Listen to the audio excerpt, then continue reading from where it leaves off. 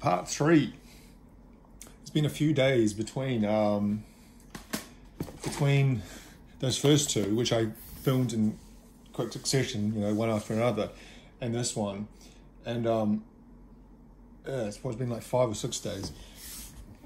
And this morning I went to the gym, and maybe it went a bit too hard. Well, not too hard. That sounds like a fucking.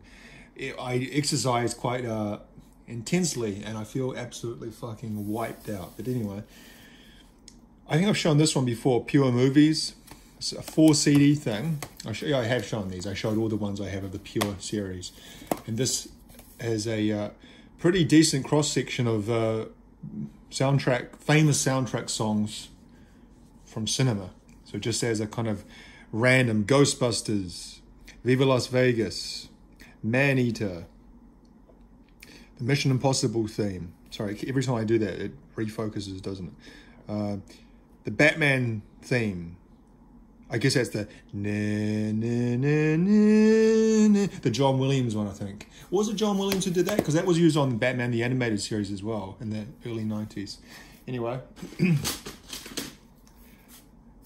Walt Disney's Fantasia.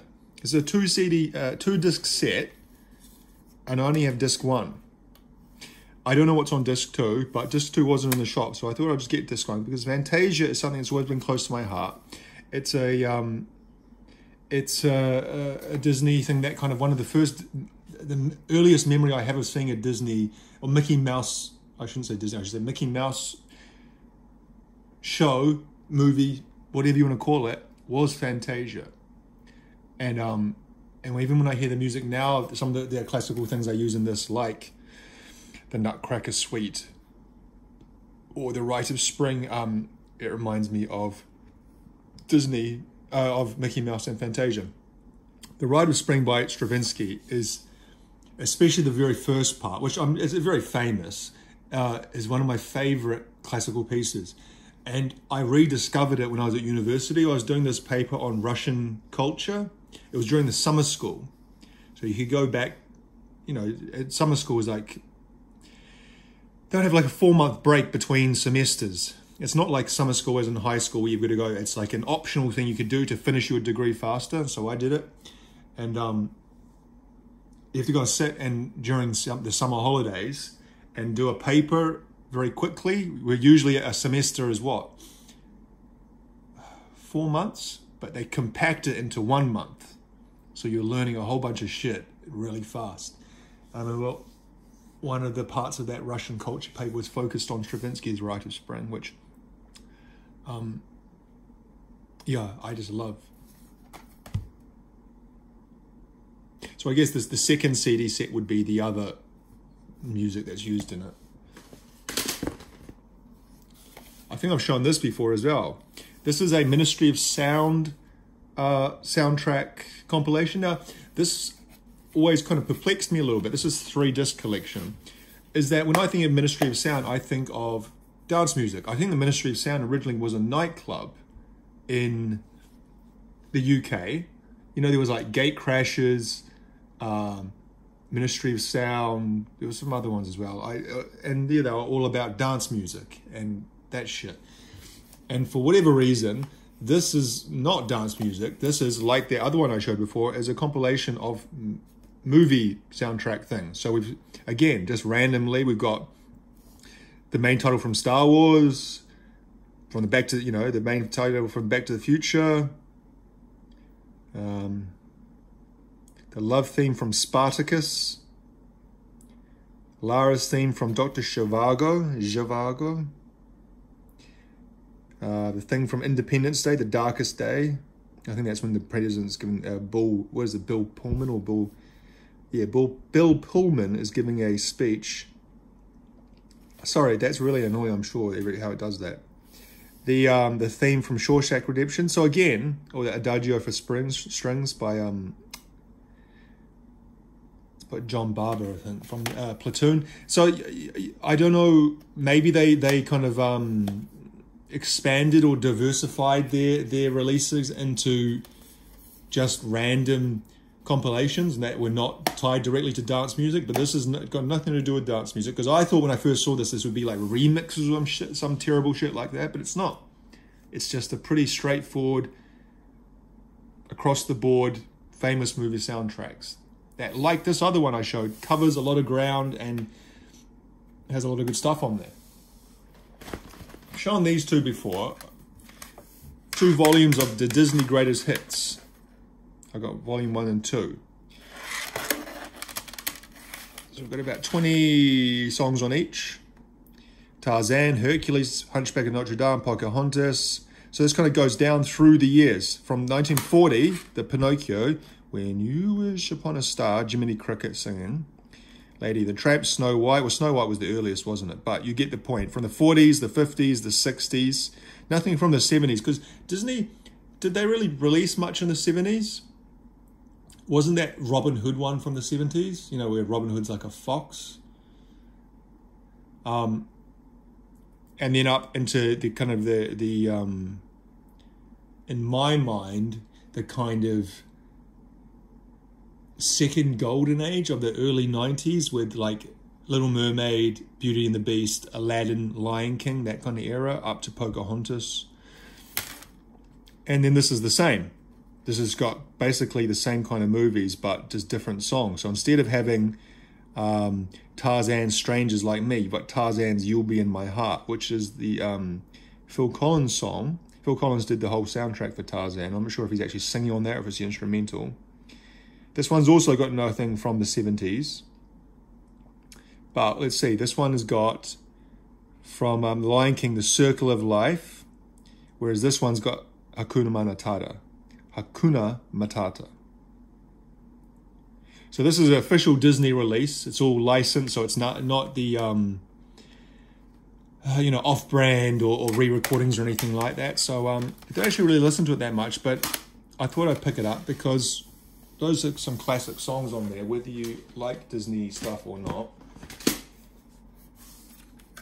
The soundtrack from the movie Arizona Dream. Never heard of it. Never seen any hide nor hear of this movie in my entire life, but it must be a movie. There's a picture of it. It says a film by Emira Kusturica, starring Johnny Depp and Jerry Lewis. Okay, so Faye Dunaway, these are all Vincent Gallo. You know, these are some big names there. But the fact remains, I've never heard of it. It's from '93. So Johnny, you know, when Johnny Depp was most famous he came of he came about, didn't he, during um what what was the first movie he well, he was on Nightmare on Elm Street, he had a small part in that, and that was the that was the early to late eighties. No, sorry, the mid to late eighties. Then he was in Twenty One Jump Street, with the TV show. He was in Tim Burton's um Edward Scissorhands, which was about ninety one. I'm sure I'm missing some other kind of big movie that he was in that kind of cemented his name as a as a A list. But anyway, I the reason why I kept this is because I listened to it and quite enjoyed it. I thought it was quite a, a quite a good soundtrack. So what do we see? We got some stuff by Iggy Pop. Um, two songs, oh, a few more than two songs, a few songs there by Iggy Pop, and then the uh, soundtrack itself, the score at least, is um, done by this guy Goran Bregovic. Bregovic. Uh, I don't know who he is, but obviously he is a some sort of composer um, of some type. I'm reading this here. Johnny, the, uh, the latest film by this, but and the first to be filmed in America following the international success of When Father Was Away on Business, never heard of it, and The Time of Gypsies, never heard of it. Kusturica, Costa Rica now creates a modern American folk tale in which Cadillacs and flying machines are transports of delight. So it mustn't have done much because I'm fairly with it with movies, at least uh, mainstream and a little bit off mainstream. I, I know most big things of that era at least, and I've never heard of it. But then again, maybe I think I am, but I'm actually I'm not. Um, anyway, let's continue. Classic at least classic soundtrack. The movie I don't think was that great to be honest, but the original motion picture soundtrack for Singles, Cameron Crowe came out in what 91 I think. 1992. I'm seeing two dates here, 92 and 90. I think 92 would be more, make more sense. So we got Wood by Alice in Chains, Breathe, Seasons by Chris Cornell. Um, I think it was his first released solo song outside of Soundgarden. You know, over the years, he um, even in Soundgarden, he released it. Like uh, the other one was um, Sun Shower. He released that while he was in Soundgarden as a solo song. And then obviously after Soundgarden, he had a solo career. But uh, this was 91 was obviously the, this was before really Soundgarden even went big time because Bad Motorfinger came out the same year. But some would argue that with Bad Motorfinger, although it didn't perform, perform badly, it certainly didn't push them into like household name status. That came with Superunknown, which was three years later. Uh, Love Mongers, Mother Love Bone, Birth Ritual by Soundgarden, State of Love and Trust by Pearl Jam. One of my favorite Pearl Jam songs. And I've said this before. As far as I know, and I could be wrong here, this is the first uh, place that this was available because it wasn't released on any album, Save Love and Trust. It may have been a B-side to a single from the 10 sessions, maybe. I know that later it was released on uh, Pearl Jam Greatest Hits, like that Rearview Mirror compilation and other things that they've released. But certainly at this time, it wasn't, you know, this is, again, this is the same time 10 was released. It wasn't on 10. Maybe on, it may have been on a single from 10 though. But um, uh, Jimi Hendrix, Screaming Trees, and Smashing Pumpkins.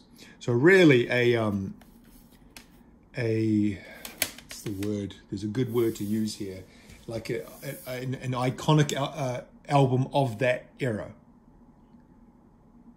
You know, all my friends knew about the sound soundtrack for singles. Again, I don't think anyone gave a shit about the movies. I don't think anyone even talked about the movie. I didn't actually see the movie till years later, but everyone knew the soundtrack.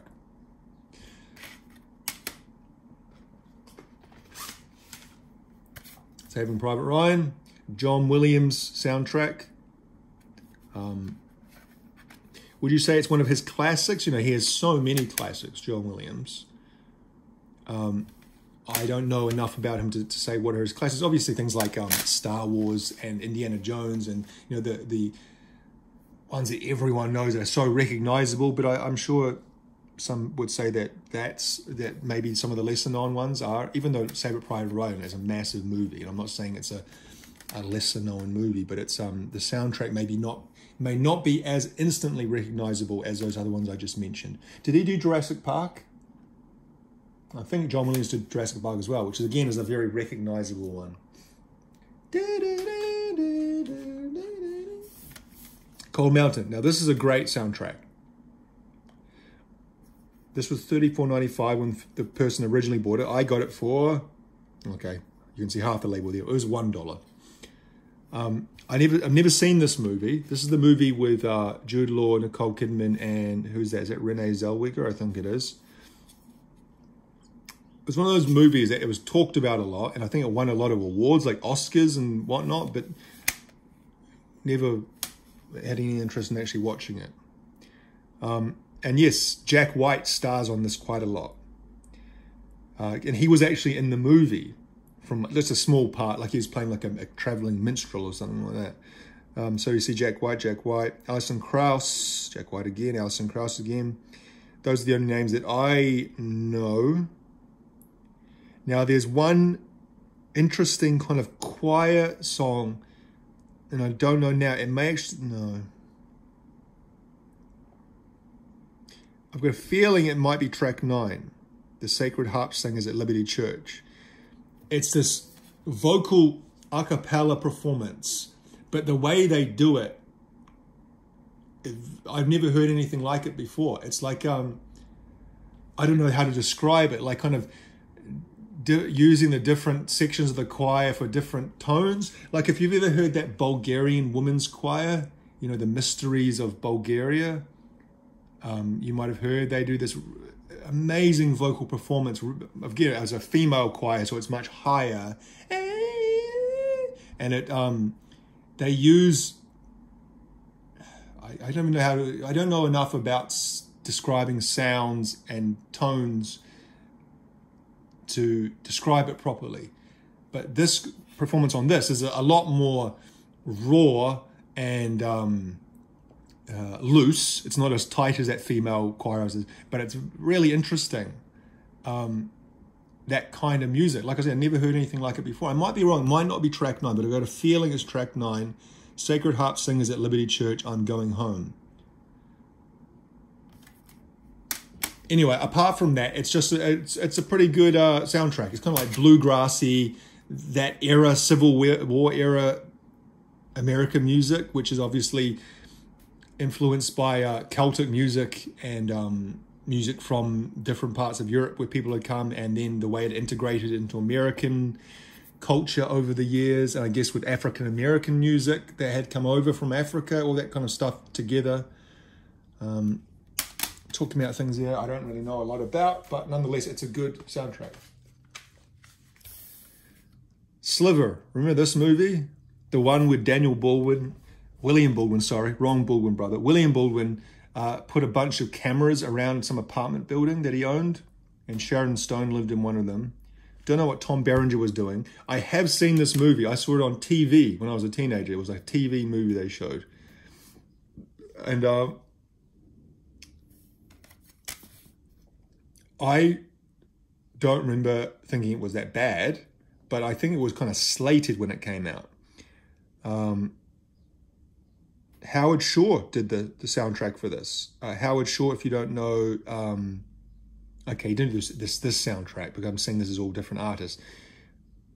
The score, Howard Shore. Howard Shore did the Lord of the Rings trilogy score as well. But we're seeing here, we got UB40. I can't stand UB40. Now that might be something because I'm I'm a New Zealander and UB40 are beloved in this country. Absolutely effing beloved for whatever reason. I think the reason is, is that New Zealanders have a over appreciation of reggae. And I don't like reggae at the best of times. You know, there's the odd reggae song I like. I guess some Bob Marley songs are okay. And even some of the other ones I've heard. But generally, no, I don't like it. And UB40 is kind of like um, almost like homogenized reggae without bringing race into it. It's kind of like white person reggae. Um, and it's just played on the radio incessantly, even more so when I was a kid. Red, red wine. Uh, what's this one? Can't. This is the Elvis Presley um, cover. Can't help falling in love. Enigma, Fluke, Massive Attack, Unfinished Sympathy. Classic song. The first 20 seconds of that song, are kind of the uh, one of my favorite intros for any song ever. The part where it starts off, it's just boom, boom, boom, boom, boom. And then there's a, a, a like a, a, someone saying something in the background, like a vocal you can kind of just hear. And then it does this record scratch. And then that, the beat comes in and they use this like spoon sample. Bing, bing, bing, bing, bing, bing, bing, bing. You know the song if you've heard it that from that from the zero zero zero of that when it starts up to when the ladies' vocals come in, hey, hey, hey, I think it's Shara Nelson.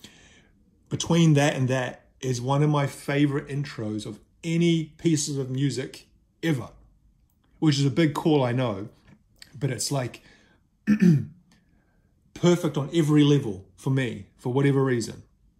I've always loved that since the first time I heard it just the, the drum beat, that kind of the simple bass, doom, doom, shit, doom, doom, doom. And then the record scratch. And then that the, that spoon, or is it like bells or spoon sample? Ding, ding, ding, ding, ding, ding, ding, ding, ding, ding. I love it so much. Shaggy, Oh Carolina. That's a pretty terrible song. Um, Neneh Cherry, Enigma. We've got two Enigma songs or three Enigma songs. Now, this this movie, it's actually interesting that Enigma features heavily on this, is that if you've seen this movie, it's kind of like you can see there with that kind of picture with Sharon Stone and Billy Baldwin in some amorous embrace. It how can I describe it? You know, when I when I try and describe things, I've said this before in the video. I can't describe. I can't put my thoughts into words very well at all. And so the the uh, what I'm trying to put across here is, in the 1990s, there was this kind of uh, archetype of man. No, no, that's not going to sound right. This aura or atmosphere of like suaveness and coolness and um, sensual sensualness or sensuality, whatever the adjective is for sensual, um, or the noun is, I should say.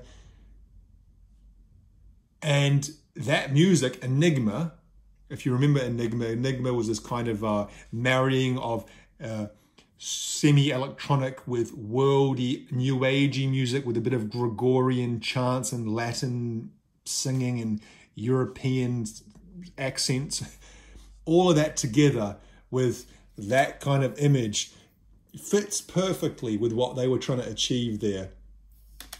Image wise, the story is another thing. I can't I can't comment whether the story is, is good or not, but um, like I said, I remember it being okay, but this movie kind of has a, has a, um, a reputation for being terrible. So